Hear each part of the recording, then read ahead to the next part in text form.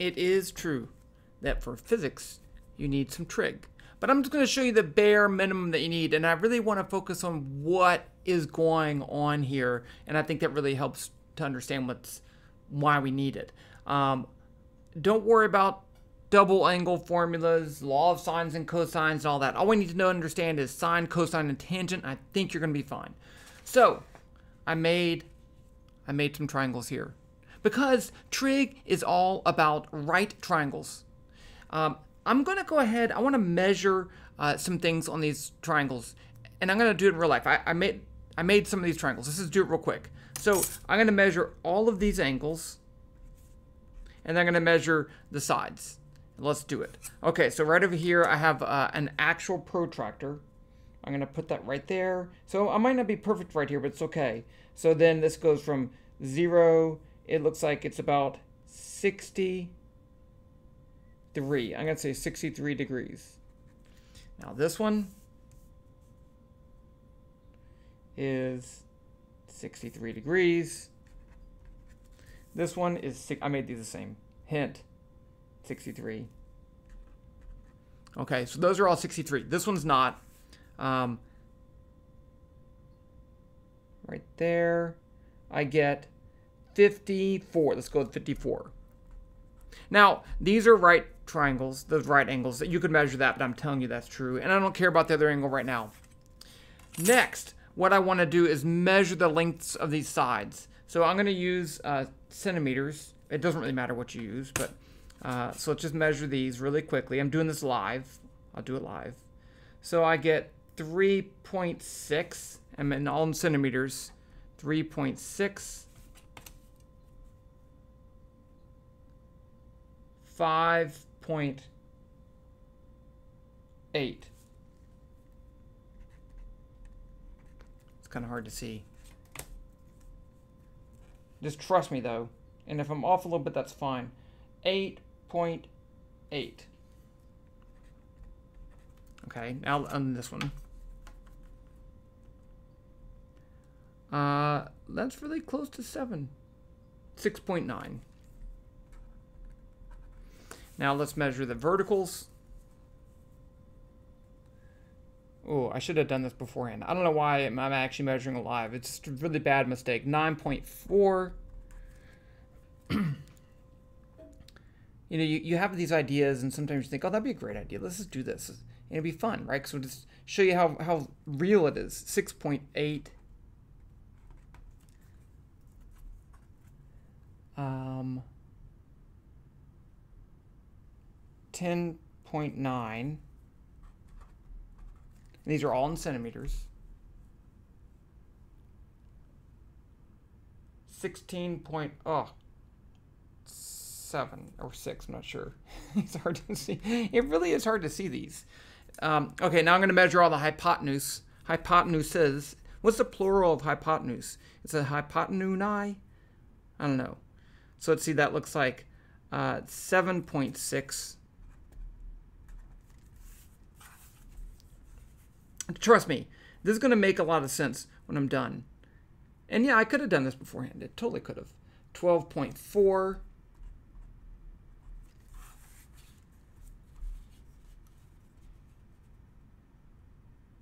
And, oh, I got two more to go. Um, 18.7. And then one more, and then we can start doing some fun stuff. I know you're thinking, this is fun. I agree, it's kind of fun. 11.6. Okay.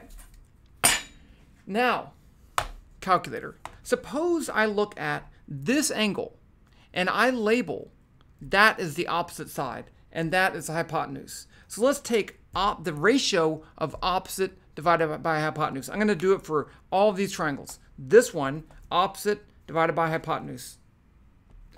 6, oh, clear. 6.8 divided by 7.6 equals. It's 0.89. 0.89. And you'll notice that it has to be less than 1, right? Because the hypotenuse has to be longer than that length. It has to be because that's the right triangle, right angle. Okay, so remember that number. I'll put it up here. Uh, 0.89. Now let's do this one. Uh, opposite 10.9 6.9 divided by 12.4 equals 8.87, 0.88, close, very, very close. And now let's do this one, clear uh, 16.7 divided by 18.7.89. So all of these triangles have the same opposite over hypotenuse. They all have the same. It doesn't matter how big it is. It depends on, because they're all similar triangles, they have similar ratios. Now this one's different, right? Let's do this one. So if I do this one and I do opposite 9.4, that's 7, 9.4 divided by 11.6, I get 0.81. So this one is 0.81. It's different because it's a different triangle. Okay. So the trig is about these right triangles. It turns out that if I know this angle is the same, then the ratios of opposite over hypotenuse is the same, which is really useful. Okay. So how do you know, how? Do, what if I don't know the triangle? I can still know the ratio. And that's the trig function sine. So if I take the sine of the angle 63, I get that.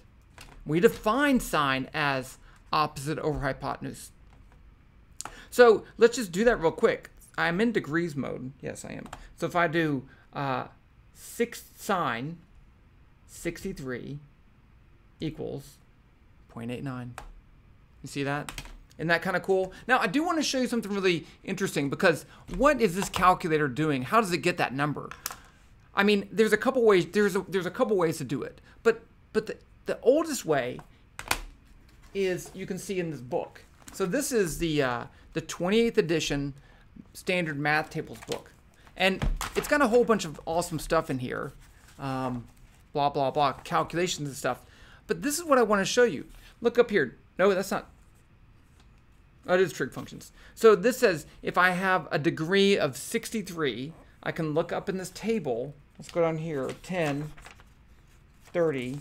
This is, this is all one table. 45. Okay, so it only goes, well, it, it goes up to higher numbers over here. Well, you, there's a trick you can get that. Okay, but you can look up the angle and it tells you the value of sine and you can just look it up. So it's really just a look up table. Now your calculator might be doing some different maths to get that, but it, it could just, it's easy just to do look up table. So there's just a table built into the calculator. And I, I don't know that's 100% true, but that's the basic idea. So uh, now let's go backwards because what we'll often do is to say, what if I know the length of the side and I know the angle, could I find that opposite side? And the answer is yes, I could. But before I do that, let's go ahead and look at the other two functions. So we have sine, um, cosine, cosine is actually that, is equal to the adjacent over hypotenuse, and then tangent is equal to the opposite over adjacent. And you do need to memorize those, um, but that's not too bad. So let's just check this. Let's check it for this one. So adjacent over hypotenuse, here's the adjacent side, 6.9, and that's hypotenuse, 11.6. Let's take that ratio, 6.9 divided by 11.6, and I get 0.59. Now let's take the cosine of this angle 54. 50 cosine 54 equals about the same thing. So that works. Now let's try tangent, just, just to be fun. And we'll go down to this, we'll use this triangle right here. Opposite, so this is the opposite angle, divided by the adjacent. So I'm going to take 10. Now you notice that this one can be greater than 1. Cosine cannot, sine cannot. But because they're ratios, they're ratios of sides for a right triangle. Okay, so this one I have a 10.9 divided by 5.8. 10.9 divided by 5.8 equals 1.88 and then if I do uh, tangent of 63, 1 point, okay, that's a little bit off, but it, because of my measurements. Okay, so now let's say that I want to do the use a function. So let's go back to the same triangle. I want to, I'm just going to draw this one. So let's say this is the angle theta. This is uh, S, and I want to find, um, let's call that O and A for opposite and, and, and adjacent. Let's say I know S, I want to find O. If I do that, I can say the sine of theta is equal to opposite over S, and I know S. and I multiply both sides by s, I get O is s times the sine. That's that was a bad choice. O equals s times the sine of theta. And so now let's put let's do it for this one. So I'm going to use s is 12.4 and theta is 63. So clear. What did I just say? Is the angle is 12.4. So I can say 12.4 times sine of 63 and I get 11.0. So 10.9. Pretty good. Okay. Now, you can also go backwards, right? We can do inverse scientific uh, trig functions. Suppose I know uh, these two sides, I want to find the angle. Well, then I could say the sine of the angle is equal to O over S, how do you get theta all by itself? Well, you can't divide by sine because it's not it's not a number. It's an operation. So I have to unoperate it. And we do that with the inverse sine. So if I take the inverse sine of both sides, the inverse sine of the sine is equal to theta, but that's equal to the inverse sine of O over S. So let's just check if that's true for this triangle. So I'm going to take uh, 10.9 divided by 12.4 and then take the inverse sine. I should get something close to 6.3, but again, I just measured these. So I'm going to say inverse sine of 10.9 divided by 12.4. I get 61.5. So close. I'm, I'm happy. Happy enough. Okay, let's, this is not a full trig, right? So let's just review what we need to know. Sine, let's, if I have a right triangle, I'm going to now call this uh, theta uh, A, B, and C. Sine of theta is equal to B over C, right? The opposite over adjacent. Cosine theta is equal to A over C, adjacent over hypotenuse. Tangent theta is equal to uh, opposite over adjacent b over a. And we're not going to use secant, cosecant. Um, we're not going to use those. You don't need those. Uh, there's an, one more feature that will come up every once in a while, and it's the Pythagorean theorems. c squared equals a squared plus b squared. That's a Pythagorean theorem. Um, but that's it. Important thing to know is that these are ratios. Ratios. And ratios do not have units whatever this triangle is, it could be a distance triangle, a speed triangle, a force triangle, it doesn't matter, but these are going to have the same units. When I take the ratio, the units cancel. So I get a unitless quantity. Unitless. Unitless. Um, the other important thing, sine of theta and cosine of theta uh, have to be between negative 1 and 1. You can't have a negative 1, right? Because imagine I have this is my x-axis, and I'm over here. So I want to know my x and my y, and there's my theta. Uh, this is, doesn't look like a right triangle, but it is. And if I drop down my opposite side, it'd be right here. And that has a negative x component. So you can get negative values for these sines and cosines and tangents. Um, just be aware of that. But you can't you can't take the inverse sine of 5 right? Because that says what angle gives you a sine, when you take the sine of it, you get 5. You can't do that. That would be having this longer than that, and then it's not a, a right triangle. Okay, uh, one last thing, radians versus degrees. Whatever angle you use, whatever units you use, make sure that your calculator is in the right units. So here's mine right here, degrees. If for this one to switch degree modes, um, boom, don't remember how to do that. Uh, mode, mode, mode, mode. Sci engineering. I don't really use calculator that much. Don't really know.